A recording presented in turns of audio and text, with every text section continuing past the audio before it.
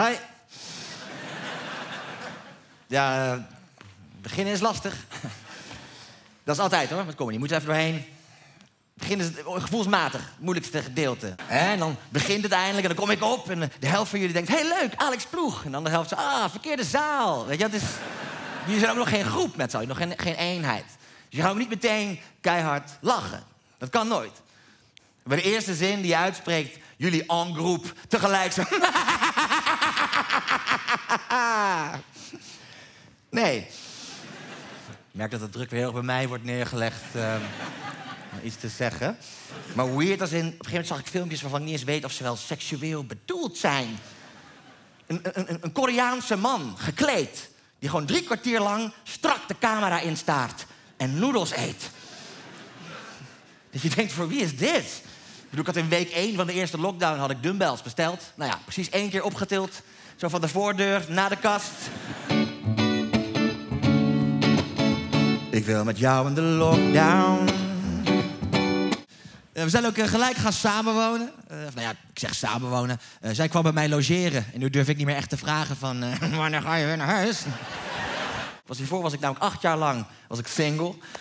nou de, term die ik dan gebruikte was super eenzaam. Maar vooral als het misgaat, ja, dan ben je echt de sjaak. Want dan moet je dus ook je mannelijkheid weer inleveren. Ja, vrouwen weten dat niet. Maar als je een man wordt, dan krijg je, je krijgt een pasje. Klein pasje, in de vorm van een piemel. Als je rappers ziet blowen, weet je hoe moeilijk dat is? Als ik blow, ik krijg een soort halve paniekaanval. En ik zit de hele avond aan mensen te vragen, is mijn voorhoofd raar? Oké, geen paniek. Maar ze hebben door dat je geen idee hebt wat je staat te doen. Ze kunnen het aan je zien.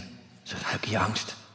Je raakt ze volledig kwijt. En je moet nog zo lang, godverdomme, godverdomme, godverdomme, godverdomme, kutzooi. Snel, doe wat interactie. Is er een, leuke dame naast je? Niet naar de titel kijken. Niet naar de titel kijken. Ik heb een nieuwe vriend. Wij doen heel veel leuke dingen samen. Eigenlijk is op mijn leeftijd de enige manier dat je nog veilig een nieuwe vriend kan maken, is ofwel via je werk, nou ja. of zo via je vriendin. He? Dat je zo op een feestje wordt voorgesteld aan het vriendje van een van haar vriendinnen. Zo heel triest, alsof je een soort kleuter bent. Zo, kijk, dit is Jeroen. Jeroen houdt ook van auto's.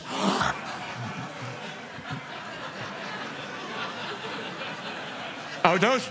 En ik was gewoon de enige jongen van mijn hele jaar... die had gekozen voor het profiel cultuurmaatschappij.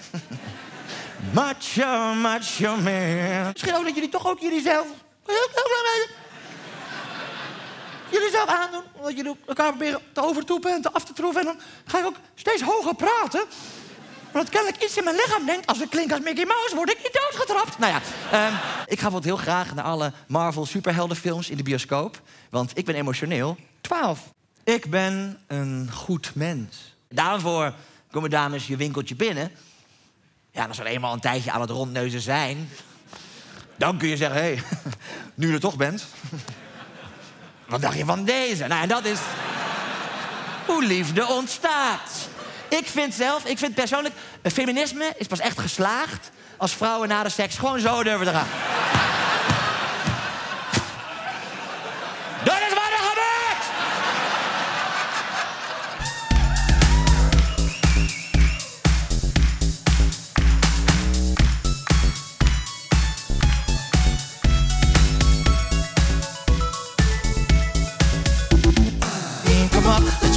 Kom